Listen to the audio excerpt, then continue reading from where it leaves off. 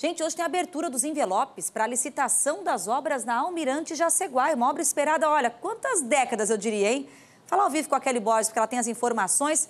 Kelly, muito boa tarde. Na verdade, essa semana, duas grandes obras tiveram um passo importante para sair do papel, correto? Mas estou vendo que você está aí pela Almirante já, para falar dessa obra também que deve sair do papel. Boa tarde.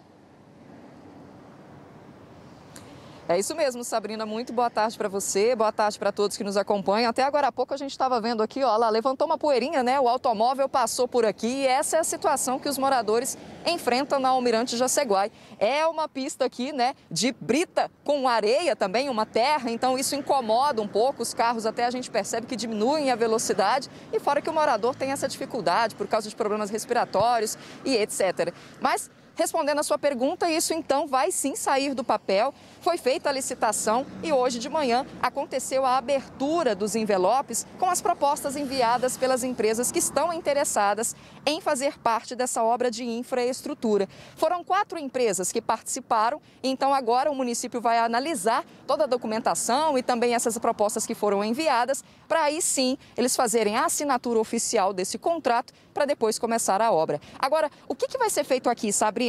A elaboração desse projeto executivo de duplicação, ele prevê dois trechos. Da Almirante Jaceguai, entre a Blumenau e a Marquês de Olinda. O, pre... o trecho aí é de 1.755 metros e ainda tem um outro trecho de aproximadamente 4,3 quilômetros que aí liga a Marquês de Olinda à BR-101. E aí você comentou, né, Sabrina, a respeito de uma outra obra muito importante, que é a do elevado. Também é muito aguardado esse elevado, seria o segundo aqui do município de de Joinville.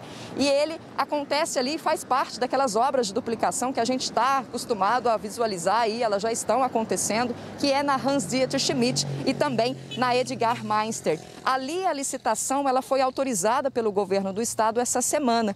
A obra está prevista aí num valor de 15,9 milhões de reais e o prazo de conclusão é de oito meses. E isso vai facilitar com certeza ali o fluxo de veículos, principalmente do setor industrial já que liga esse elevado onde ele vai ser construído, vai ligar a BR-101 e também o aeroporto. Para a gente finalizar então, Sabrina, essa obra aqui da Almirante Jaceguai, né, que eu comentei agora há pouco, o prazo também é de oito meses previsto aí para a conclusão dessa obra. É claro, a gente comentou e eu reforço, precisa aí da assinatura primeiro do município, certinho, para poder vi viabilizar essa obra, mas a expectativa também é que seja concluída em oito meses, ou seja, só no ano que vem.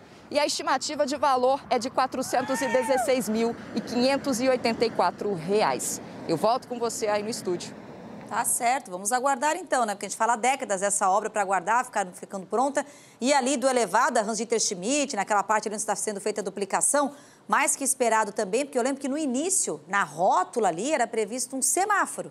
O elevado vem então para realmente ficar de acordo com a modernização da obra e a necessidade, antes de tudo, né?